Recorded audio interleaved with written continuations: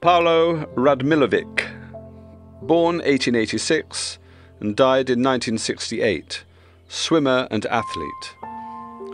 Paulo, known locally as Raddy, was one of Britain's greatest swimmers. In 1908, he won a gold medal with the 800 metre relay team at the London Olympics.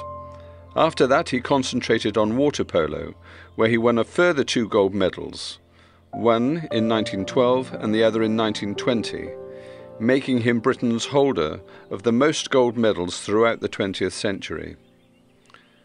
After retiring from swimming, he became a local hotelier and restaurateur. He gave many swimming displays at Knightstone Baths and died at the age of 82.